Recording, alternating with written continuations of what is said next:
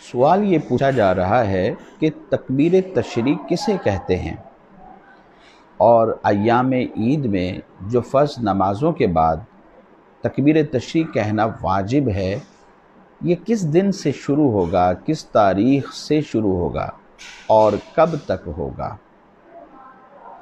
تکبیر تشریق اللہ اکبر اللہ اکبر لا الہ الا اللہ واللہ اکبر اللہ اکبر وللہ الحمد. تکبیر تشریق اسے کہتے ہیں.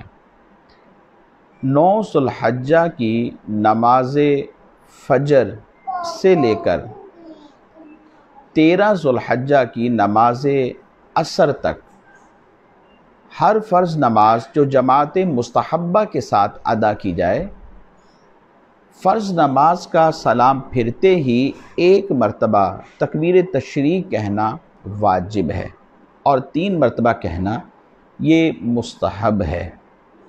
وہ شخص کہ جس کی چند رکعتیں رہ گئی ہوں، ایک رکعت، دو رکعت، تین رکعت یا چوتھی رکعت میں قادہ اخیرہ میں آ کر ملا۔ جب امام صاحب کے سلام پھیرنے کے بعد اپنی نماز مکمل کر لے گا تو تب یہ تکبیر تشریق ایک مرتبہ کہے گا، اس کے لیے واجب ہے۔ تین مرتبہ کہہ لے تو مستحب عمل ہوگا اور ثواب ملے گا۔ اور وہ شخص کہ جو منفرد ہے یعنی اکیلے نماز پڑھ رہا ہے، خواہ مسجد میں نماز پڑھ رہا ہو یا کسی وجہ سے گھر میں نماز پڑھ رہا ہو، اسی طرح گھر میں خواتین جو نماز پڑھنے والی ہوتی ہیں ان کے اوپر فرض نماز کے بعد سلام پھرتے ہی تکبیر تشریح کہنا واجب نہیں ہے۔ اور اگر کہہ لیں تو بہتر ہے ثواب ملے گا۔